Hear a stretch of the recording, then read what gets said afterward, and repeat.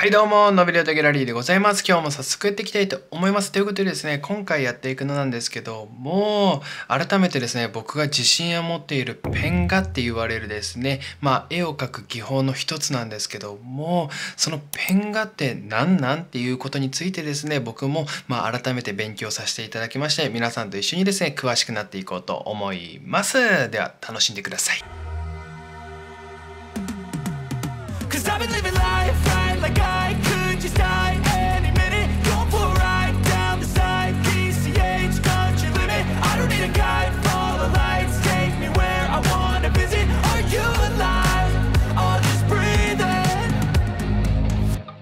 はい始まりましたけどもまあペン画って言われるものはですね多分ねもう僕の動画をよく見てくれてる方はペン画って言われたらですねまあ大体こういうものなのかなっていうのはですね雰囲気まあイメージはですねしやすいんじゃないかなと思いますけども絵を描き始める方がですねじゃあペン画って言われたら何を想像するかって言われたらですねまあどうだろうねペン画って結構もうその文字通りっていうんですかね言葉通りな気はしてるのでで結構ね誰でもがイメージしやすいものになってくるんじゃないかなと思っております。そこでですね僕自身もペン画って言われるものを改めてねちょっと調べさせていただきましてもともとはペン画って言われるものはまあペンで描かれた、まあ、絵のことをペン画って言うんだって。まあもともとっていうか今もそうなんだけどもそれで何が描かれてたかっていうと風景画であったり人物画ですね、まあ、人を描いたりっていうこの2個がですね結構あのペンを使って絵を描いてたですね主流の、まあ、画風っていうかそういうイラストが多かったらしいんだよね。でも、まあ、最近はっていうかそのアートの歴史をですね、まあ、勉強していただければわかるんですけどもその風景画とかいわゆるめちゃくちゃリアルに描く絵っていうのは昔はですねめちゃくちゃ重宝されておりました。なぜかというとカメラとかがない時代は風景って言われるものをペンとかでですねリアルに描くっていうのがすごいよっていうのがあってですね。それで風景画とかはですねめちゃくちゃ素晴らしいものだと言われておりました。でもそこからですね何年も経ってカメラっていうものが登場してですねカメラでその風景を抑えてしまえばですねもう絵を描く必要がなくなっちゃったよっていうので、まあ、風景画って言われるものは今でも描かれますけどもあまりですね昔に比べると別にそこまでま重要視されるものではなくなったっていう内容もあるんですけどもそこからですねじゃあペン画って言われるものがですね、まあ、いろんなねペンを使って描くものをですね、まあ、イコールペン画みたいな言われ方をし始めててで、まあ、ボールペンで描かれたものをボールペン画って言ったりとかシャーペンとかで描かれたものをシャーペン画そして鉛筆とかで描かれたのを鉛筆画とかそれぞれの画材を使ったものに対して〇〇画って言われるようなですね形がですね今ではま一般的になってるのかなと思っております。最近はねやっぱりその G ペンって言われるですねまあペン先がですねちょっと穴が穴が開いてるっていう言い方っていうのか分かんないけどそういう漫画とかに使うようなペンであったりとかあとはミリペンって僕がよく使ってるこちらのピグマのミリペンですけどもこのミリペンで、まあ、あのペンサイズがですね、まあ、めちゃめちゃいろいろあるのでそれで絵を描く方がですねめちゃくちゃ増えました。それが今ですねまあ流行ってるっていうか昔から流行ってるんですけどもその、まあ、今の現時点でのミリペンで描かれたものを僕はですねペン画と捉えております、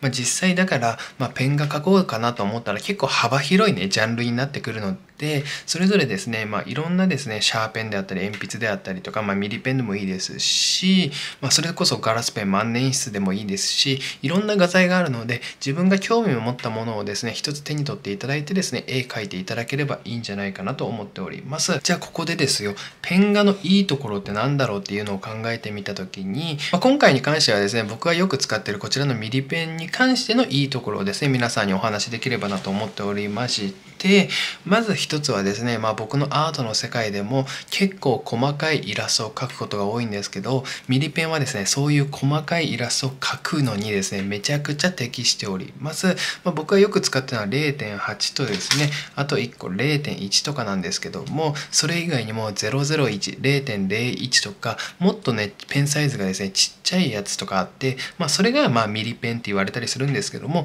いろんなサイズをですねこのペン1本ごとで変えることがでできるのでめちゃくちゃ細かいイラストを描くことができます、まあ、こういうですね普通に丸を描いていただいてその中にですね細かいイラストを描こうと思ったらですねめちゃめちゃ簡単に、ま、0.1とか、まあ、昔だったらねペンサイズっていうのを同じもので、まあ、比較的にそれでちょっとずつサイズをですね変えるっていうのもあったと思うんですけども今ではですねこういうねミリペンとかサイズ感がですねたくさん出ておりますのでペンをですね一つ変えるだけでですね簡単に細かいイラストを描きやすくでできるっていうねめちゃくちゃいいですよね。これがめっちゃペン画のですねいい特徴なんじゃないかなと思います、まあ、細かいイラストが好きな方はですね是非ねミリペンとか、まあ、細かいペン先のやつだったらですね比較的何でもできると思いますね。でデザイン性がですね結構豊富っていうか何でも書けちゃうかなと僕は思っております。でもね、まあ、一つ言うと黒って言われるものをこうやってですねグラデーションとか作るのがめちゃくちゃ大変かなと思いますね、まあ、例えばね簡単にねこうやって塗って、まあ、黒を塗るとしてでその後にちょっとグレーかかるような黒をしようと思ったらですね0.1とかだとペンサイズがですねもうちっちゃすぎて力入れすぎると本当にですねもうもったいないぐらいペン先が潰れてしまうんですよね。それってミリペンではやりにくくてなのでグラデーションを作るにしてもですね同じサイズ感でやるとかあとはちょっと太め系でやるしかなくてでもこのねあの統一された色なのでムラが本当にないんですよ。なのでグラデーションがですね結構作りにくくてじゃあねこのペン画でですねグラデーションを作るのはどうすればいいかっていう時にまあねあのよく出てくると思うんですけどもハッチングって言われるやり方をします、まあ、ハッチングって言われるものは同じ方向からですね線を引いていただいてですね、まあ、この線を作ってでたくさん重ねたりとかまあ重ねなくてもいいんですけどもそれでですね色のねあの濃淡っていうんですか色の濃さを変えていくっていうのが、まあ、いわゆるこのペン画で言われるグラデーションっていうことになってくるのかなと思います。これがですね結構基礎中の基礎になってきますし僕自身もペン画のですねテクニックっていうのを以前紹介させていただいたことがありますのでそれを使っていただければですね比較的に、まグラデーションも簡単にできるんじゃないかなと思います。ここに関しては結構練習がいるので今ね簡単にそのペン画ってどんな技法の中でこのグラデーションをですねマスターしようっていうわけではないのでまあそういうのがあるよと思っていただければいいかなと思います、まあ、比較的にペン画って言われるものを簡単に捉えていただくまあ一つとしてはですね、まあ、こういう線とあとはこういう点。この線と点で出来上がったものがですね比較的にペン画とかね思っていただければいいかなと思いますので簡単に言えばこの線とこの点をですね使ったイラストを書いてしまえばもう比較的にペン画って言われるものになるかなと思いますしあまりねそのペン画の技法っていう言い方をね結構ネットの中では言うんですけども、まあ、僕自身もねよく使ったりしますが別にペン画ってていう、まあ、ジャンルの一つなので別にペン画の中にじゃあ技法があるかって言われたら、まあ、確かにハッチングとかこういうね形のやつはあるんですけどもこれって比較的にどの画材でも使うねやり方なのでペン画だけの独特なやり方っていうわけではないんだけどもでもこういうのを覚えておくといろんな画材でですね応用が効くのでで是非ですねもしペンが興味ある方はやってみて練習してですねまあマスターしていただければいいかなと思っております。でまあいいところもねあるしまあ悪いところって言ったらやっぱりねグラデーション難しいのかなとか思ったりするしあとは、まあ、ミリペンってねあの色って言われるのも確かに赤とかもいろいろあるんですけども比較的に他の画材に比べたらその色のですねまあその何て言うんですかねラインナップって言われるものは少ないのかなと思っております。なのでたくさん色を使いたいよっていう方はですねあまりミリペンをおすすめしないかもしれないしもしくは組み合わせっていうやり方がございます、まあ、それはねペン画って言われるのかって言われたらまた違うと思うんですけども色も使いたいいよっていう方は最初にですねまあ下書きするなら下書きしていただいてその上からですねミリペンを使ってインキングする。そしてその後に違う画材で色を塗るっていうことをしていただければですねまああの色もつけれるしそしてペン画って言われる技法も使ってですね絵を描くことができるので、まあ、組み合わせ組み合わせするだけでもですねいろんな世界が見えてきますので是非そのような形で使っていただければ、まあ、ミリペンでですねペン画を描くのも楽しめるし色を塗るのも楽しめるので是非ですねいろんな組み合わせをですね試していただけるといいかなと思っております。ペン画って言われたらですね本当にこんぐらいなんだよね。もう簡単に捉えていいと思いますね、まあ、確かにペン画ってどんな技法なんて言われた時に、まあ、あんまり僕もですねその絵をね最初に描き始めた頃に、まあ、こういうミリペンがあるよっていうのを友達に教えてもらってで、まあ、モレスキンノートを使ってですね絵を描いていったっていう時から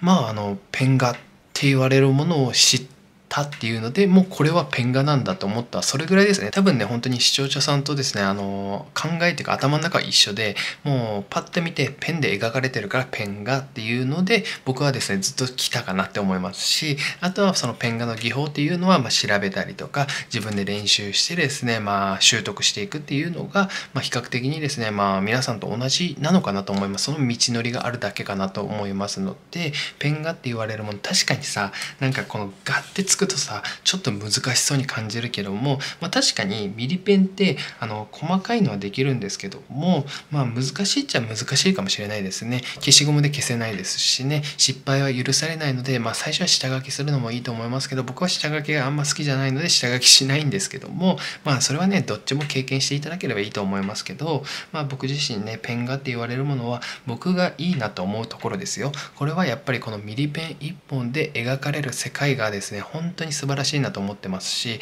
このペン1本でできる世界ってやばくないっていうのが、まあ、僕がねよく YouTube でですね皆さんにお伝えしていることかなと思います。まあねもちろんミリペンのいいところもあれば悪いところもねお話しさせていただきましたしペン画でですね、まあ、表現が難しいものって言ったら何になるかな。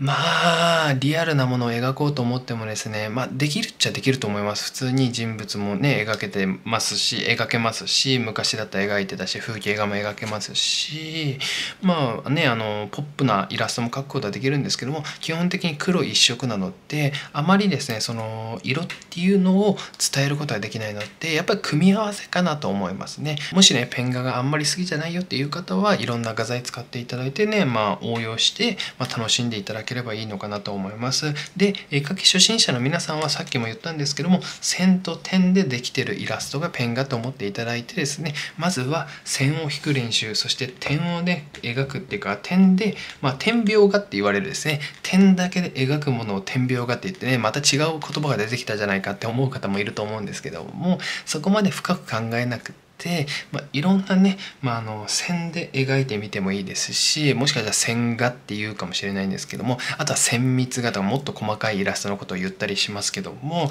もう本当に正直言い方一つだと僕は思ってるのでなのでもう好きなペンを取っていただいて僕だったらミリペンなんですけどミリペンを取っていただいてとりあえず書いてみると。別にペン画を書いてみましたって言って友達にね、いや、これペン画じゃないじゃんとか言われても別にあんま気にしない方がいいと思いますね。別に気にしたところで、まあね、普通にイラスト描いてみましたって言ってしまえば、まあ何もかもが全てはイラストになりますから。なので、ペン画描いてね、それペン画じゃなくねって言われても、いやいやいや別にいいよっていうね、そこはあんま気にしなくていいのかなと思っております。なので、まあ、ペン画って言われるものはですね、比較的にですね、本当に一番、なんだろう、絵描き初心者の方が簡単に始めれるのかなと僕は思っておりますし準備するものがだってねこの紙とあとはねもしミリペンならミリペンだしあとは普通にボールペンならボールペンでですね日常的に使うね鉛筆シャーペンとかたくさんあると思いますのでそういうのからまずは始めていただければいいんじゃないかなと思います、まあ、僕自身も最初からミリペン持ってたわけじゃないので普通に大学の時のコピー用紙と目の前にあったコピー用紙とあとは横にあった普通にボールペンですからそれでただ単に絵を描いたところから僕はスタートしておりますので、まあ皆さんもですね別にあの買う必要もないしなのであの簡単に始めれるとこがペン画なのかなと思います。でどんどんどんどんね自分がねこれもやってみたいこれもやってみたいみたいなのがあったらそれに手出してですね、まあ、自分の世界を広げていただければよりペン画っていうものがですね奥深いねまあアートなんだなっていうのがね分かるんじゃないかなと思いますので是非よかったらですねどんどんどんどんね世界広げていただけると嬉しいなと思っております。ということでですね今回はペン画ってどんな技法なんていうおお話をさせていただきました。